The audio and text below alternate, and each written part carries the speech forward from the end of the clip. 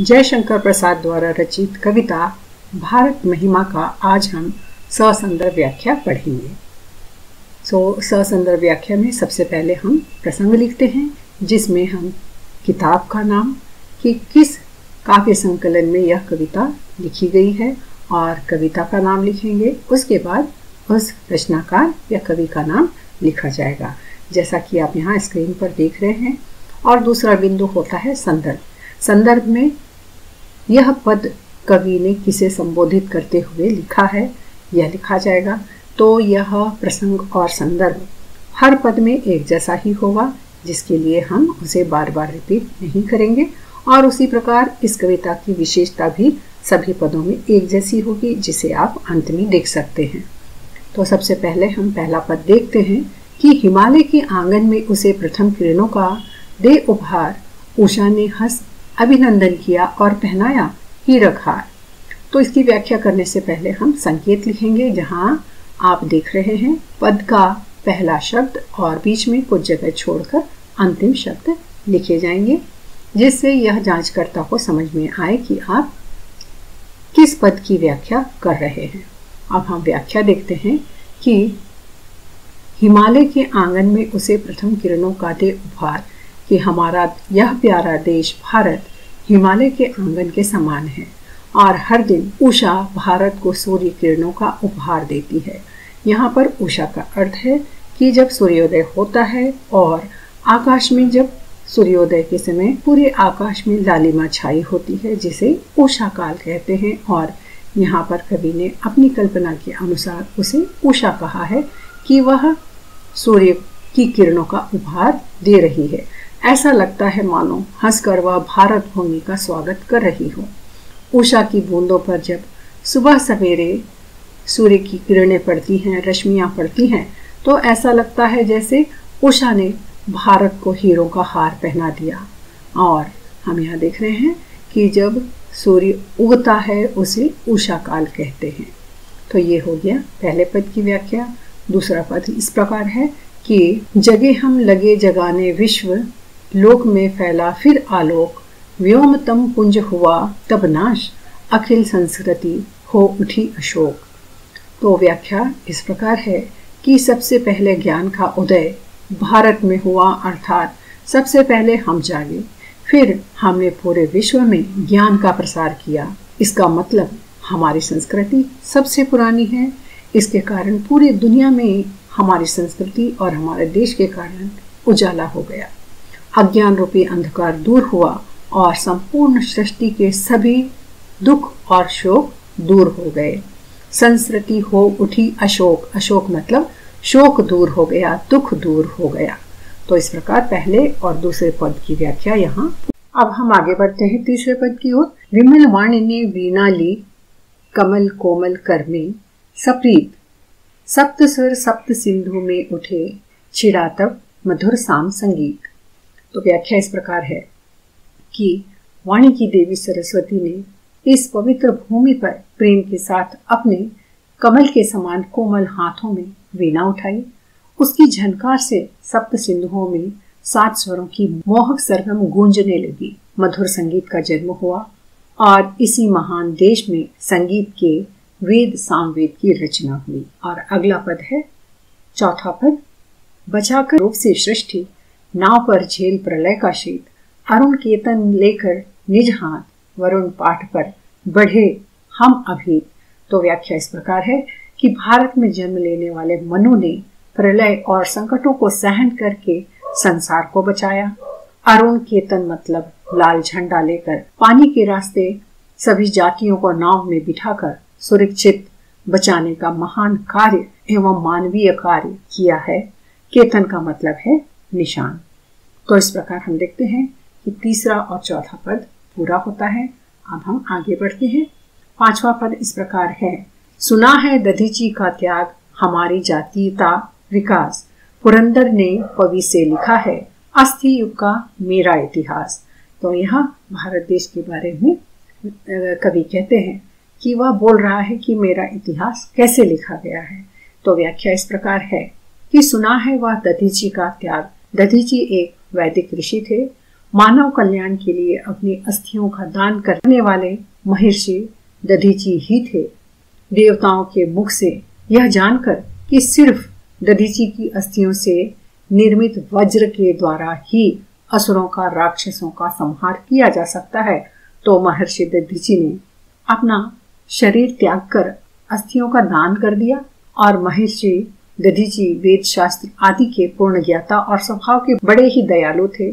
घमंड तो उन्हें छू तक नहीं पाया था।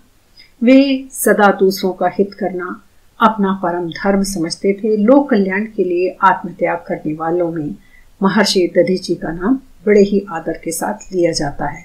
तो इस प्रकार महर्षि दधीची ने अपना शरीर दान करके अपनी हड्डियों को जातीयता के विकास के लिए दान दे दिया।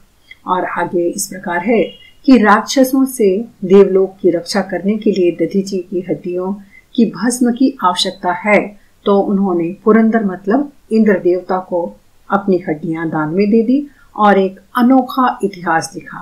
पवी से लिखा है मतलब आग से, जो बरसों बाद भी चमक रहा है।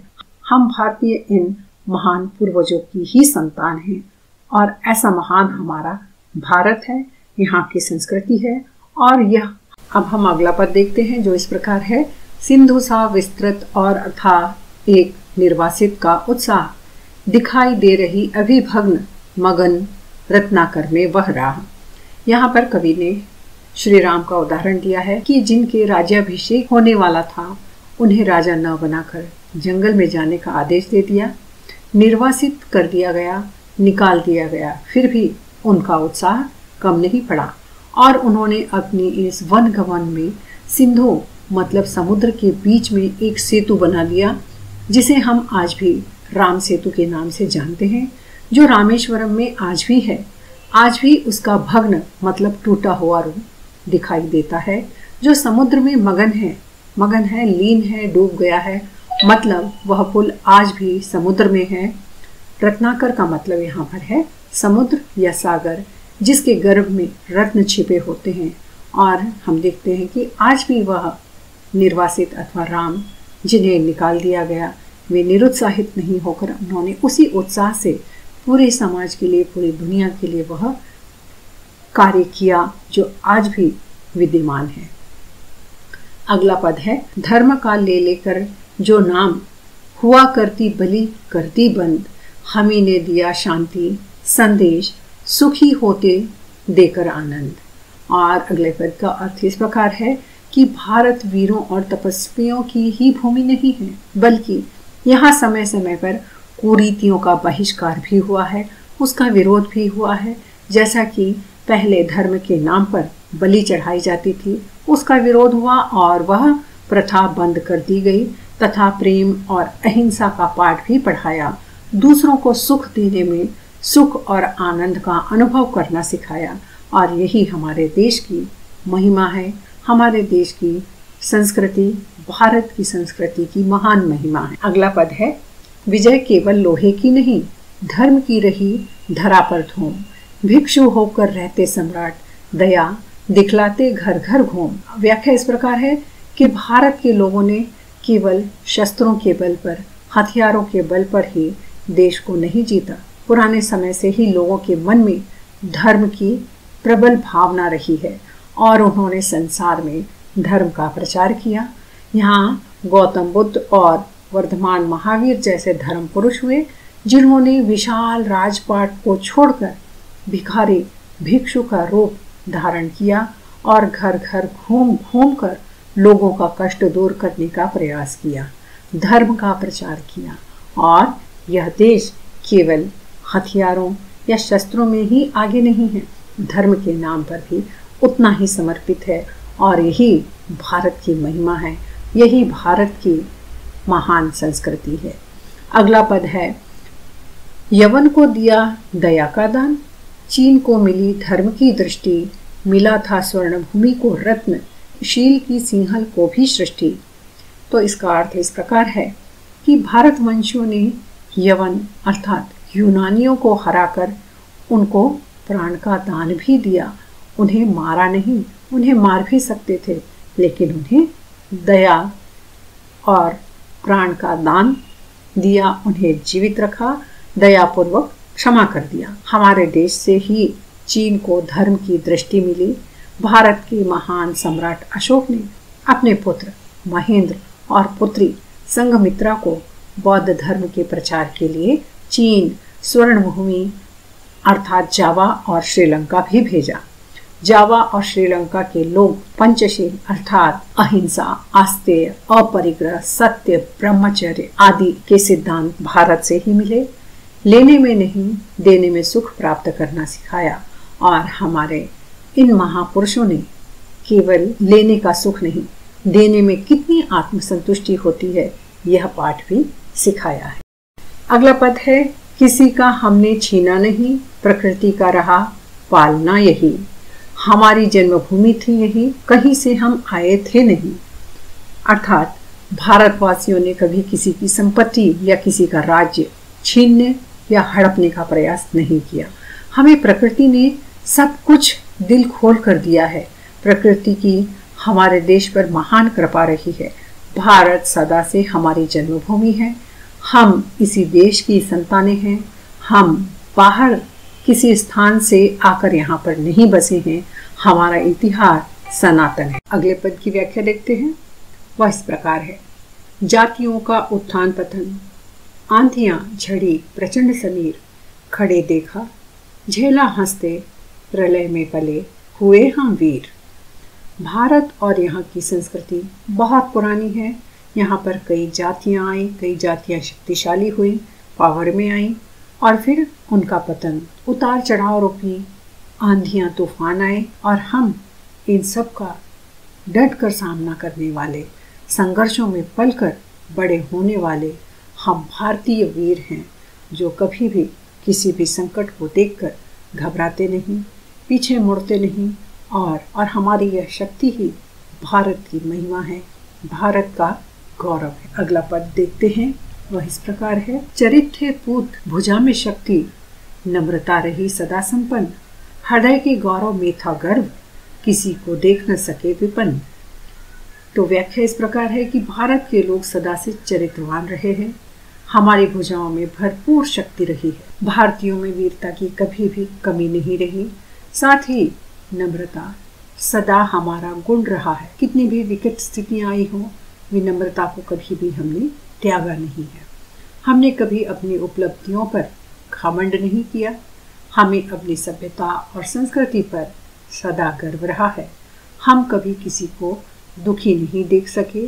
दीन दुखियों की सेवा करने के लिए हम भारतीय सदैव तत्पर रहते हैं और यह हमारे देश की, हमारे भारत की महिमा है। अगला पद है, हमारे संचय में था दान अतिथि थे। सदा हमारे देव। वचन में सत्य, हृदय में तेज, प्रतिज्ञा में रहती थी देव। व्याख्या है इस प्रकार कि हम धन और संपत्ति जमा करते भी थे तो दान करने के लिए दान भी करते थे। दान वीरता भारतीयों का गुण रहा है। हमारे देश में अतिथियों को हमेशा भगवान के समान माना जाता है। भारत के लोग सत्य बोलना अपना परम धर्म समझते हैं। हम सत्यवादी हरिश्चंद्र की संतानें हैं। हमारे हृदय में तेज था, गौरव था। हम हमेशा वचन के पक्के, प्राण जाए पर वचन न जाए, हमारा जीवन मूल्य रहा है। अगला पद इस प्रकार है, वही है रक्त, वही है देश, वही है साहस, वैसा ज्ञान, वही है शांति, वही है शक्ति, वही हम दिव्य, आर्य संतान। तो व्याख्या इस प्रकार है कि आज भी हम भारतीयों की नसों में उन्हीं पूर्वजों का खून बह रहा है। आज भी हमारा देश वैसा ही है। भारतीयों में वैसा ही साहस है। भारतीय आज भी ज्ञान के क्षेत्र में सबसे आगे हैं। आज भी हम पहले के समान शांति के पुजारी हैं। देशवासियों में वैसी ही शक्ति है जैसी प्राचीन काल में थी। हम उन्हीं प्राचीन आर्यों के दिव्य संतानें हैं। अतः आज भी हमारे मूल्य वही हैं जो प्राचीन काल में, पुराने समय में थे। और इस प्रकार यही हमारे भारत की महिमा है। अगला पद है कि जिए तो सदा इसी के लिए यही अभिमान रहे। या हर्ष निछावर कर दे हम सर्वस्व, हमारा प्यारा भारतवर्ष।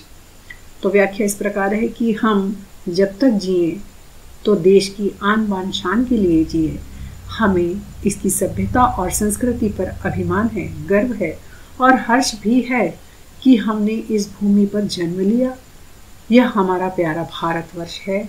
यदि कभी आवश्यकता पड़े तो इसके लिए अपना सब कुछ न्यौछावर कर देंगे। विकट परिस्थितियों में भी न घबराने वाले वीर हैं हम और यही हमारे भारत देश की महिमा है।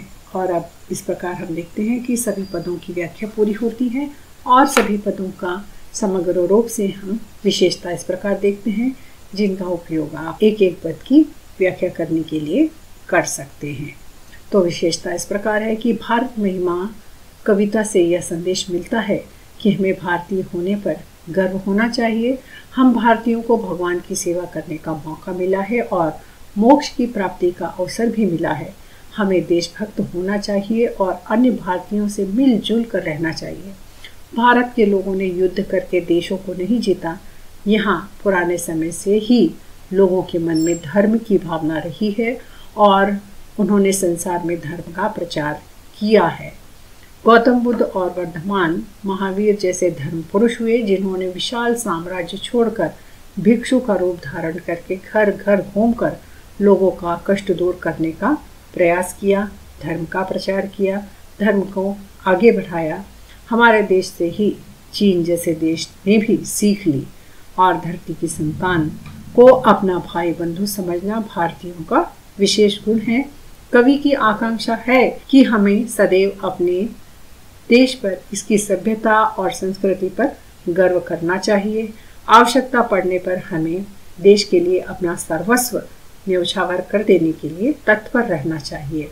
अपना इतिहास और समृद्धि की जानकारी हम सभी को होना चाहिए। हमारे देश की महिमा, भारत की महिमा महान है। तो इस प्रकार विशेषता यहाँ पर पूरी होती है। अब हम पाठ्य सामग्री के अगले भाग की ओर बढ़ते हैं, जिसमें पहला प्रश्न होता है आपके प्रश्न पत्र में, एक शब्द या वाक्य में उत्तर लिखिए। तो आपको पूरी किताब में से, टेक्स्ट बुक में से सारे लेसन में से एक एक प्रश्न लेकर दस प्रश्न दिए जाते हैं, जिसका उत्तर आपको एक शब्द या वाक्य में लिखना होता है और हर प्रश्न के लिए एक अंक होता है। तो इस पाठ पर आधारित कुछ संभावित प्रश्न मैंने यहाँ उत्तर के साथ दिए हैं, जिसे आप देख सकते हैं और समझ सकते हैं कि किस प्रकार के प्रश्न आएँगे और ये प्रश्न और इन प्रश्नों के उत्तर आपको सारांश लिखने में भी सहायक होंगे। और उसके बाद दूसरा प्रश्न आता है, ससंदर्भ व्याख्या कीजिए, जिसके लिए भी मैंने यहाँ पर एक ही प्रश्न तैयार किया है।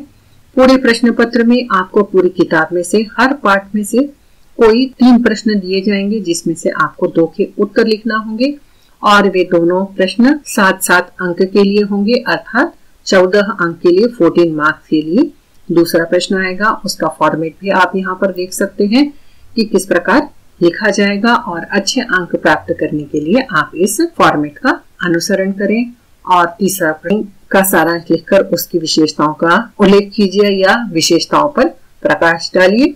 तो आप वीडियो के पहले भाग का उपयोग कर सकते हैं। और उसके बाद आता है चौथा प्रश्न। टिप्पणी लिखिए, जिसे आपको दो में से एक प्रश्न करना होता है और एक प्रश्न पाँच अंक के लिए होता है। तो इस प्रकार आप देखेंगे कि यह टिप्पणी का फॉर्मेट भी यहाँ पर दिया हुआ है कि किस प्रकार से टिप्पणी लिखी जाती है। इसमें सबसे पहले शीर्षक लिखा जाता है कि आप दो में से कौन सा एक विषय या शीर्षक पर टिप्पणी लिख रहे हैं और उस शीर्षक का परिचय दिया जाता है कि यह शीर्षक हमारी पाठ्य पुस्तक आप पुस्तक का नाम लिखेंगे, उस कहानी का नाम लिखेंगे और लेखक का नाम लिखेंगे तथा उस शीर्षक के बारे में एक सेंटेंस लिखेंगे कि वह क्या है। और उसके नेक्स्ट पैराग्राफ में आप उस पाठ में, उस शीर्षक के बारे में जो कुछ भी दिया गया है, उसे आप टिप्पणी के रूप में आठ से नौ लाइन के, लाइन में उत्तर लिखेंगे, क्योंकि यह केवल पाँच मार्क्स के लिए होता है। किसी किसी पाठ में हम देखते हैं कि किसी शीर्षक के विषय में बहुत कुछ दिया होता है, जिसे हम दो पेज में भी लिख सकते हैं, लेकिन आपको यहाँ पर अंक का ध्यान रखकर उत्तर लिखना है कि पाँच अंक के लिए हमें कितना लिखना चाहिए। तो इस प्रकार आप इन सब बातों का ध्यान रखेंगे तो आपको टाइम मैनेजमेंट भी अच्छी तरह से आ जाएगा और आप पूरा प्रश्न आसानी से समय में ही पूरा कर सकते हैं। तो मैं समझती हूँ आपको यह वीडियो ज़रूर उपयोगी होगी, सहायक होगी। धन्यवाद।